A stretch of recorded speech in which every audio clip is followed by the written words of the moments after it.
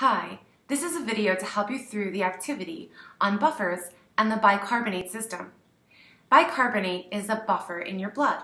A buffer is a weak acid and its conjugate base. Here's an example of a buffer reaction.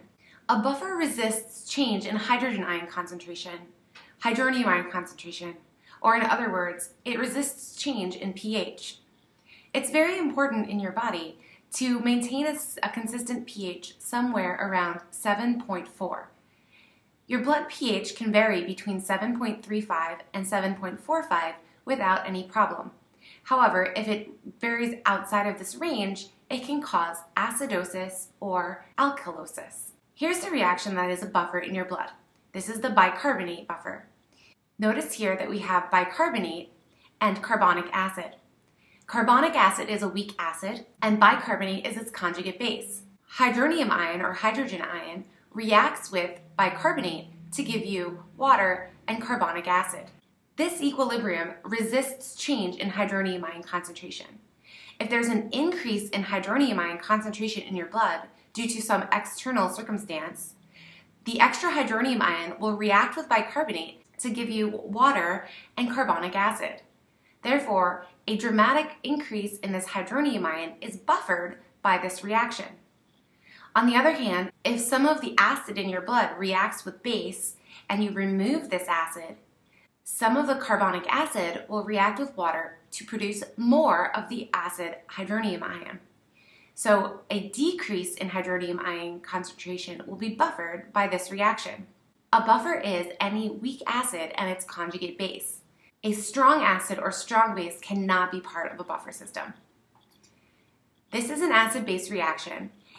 Bicarbonate and carbonic acid are conjugate acid-base pair, and this is the weak acid-base conjugate pair that is the buffer in your blood. There's another equilibrium that affects this reaction and is linked.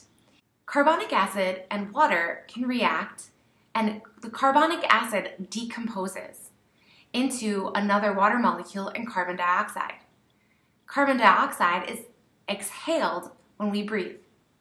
This second reaction is the decomposition of carbonic acid, and it's technically not part of the buffer. However, it does affect the buffer, and therefore it affects the concentration of hydronium ion in solution. So breathing, exhaling carbon dioxide, uh, can affect the pH of your blood. The opposite, the reaction in the opposite direction is called synthesis because we're taking carbon dioxide and water and creating this carbonic acid. These two equilibria are linked. And in a moment, I'm going to write an abbreviated version of this link between the acid in your blood and carbon dioxide. The change in carbon dioxide concentration in your blood can dramatically affect the pH. So it's simpler sometimes and easier to just look at these two reactions linked and ignore the middle step. This reaction is still balanced and it's still true. Even though it's technically linked by another equilibrium step, you can simplify the reaction and look at it just like this.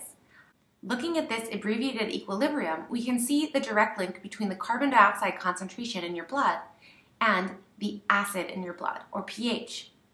Breathing has two main purposes. Breathing in gets oxygen into our blood. The oxygen is then metabolized by our cells and produces carbon dioxide. When we breathe out, we get rid of carbon dioxide.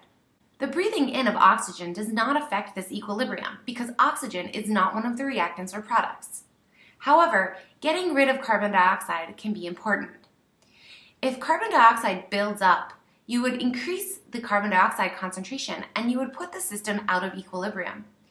Because of Le Chatelier's principle, the equilibrium would then shift to reach equilibrium again. And if you weren't breathing and you weren't getting rid of carbon dioxide, you would actually increase the concentration of acid in your blood and decrease the pH. This is a situation called acidosis because there's excess acid in your blood, and it can be dangerous. On the other hand, if you're getting rid of too much carbon dioxide because you're hyperventilating, you're removing carbon dioxide from the system. It puts the system out of equilibrium, and according to Le Chatelier's principle, this equation would shift to the right to produce more carbon dioxide. But that would get rid of acid, and it can get rid of too much acid causing a decrease in acid concentration and an increase in pH. This is called alkalosis, and it can also be dangerous. Acidosis is treated in the clinic by injection of sodium bicarbonate. Sodium bicarbonate is an ionic compound, and it dissociates in water to give you sodium ions and bicarbonate ions. Injecting bicarbonate into the blood will increase the concentration of bicarbonate. The extra bicarbonate will react with extra acid and shift this equilibrium to the right to produce more carbon dioxide. Sodium bicarbonate is the same compound you have in baking soda. Alkalosis is a condition that's caused by hyperventilation. One way to treat alkalosis is by breathing into a paper bag. The reason that you breathe into a paper bag is that when you inhale again, you're inhaling the carbon dioxide that you just exhaled. And that stops the loss of carbon dioxide. When you're hyperventilating, you're exhaling too much carbon dioxide. So if you inhale that carbon dioxide again, it prevents the shift of this equilibrium too far to the right.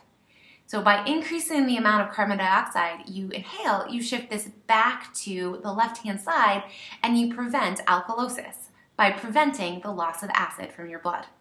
The important part of this activity is to have a conceptual understanding of equilibrium and how the bicarbonate buffer in your blood affects pH through breathing. Please try the questions, make sure that you're correct, and let me know if you have any questions. If you like this video, please let me know by giving me a vote.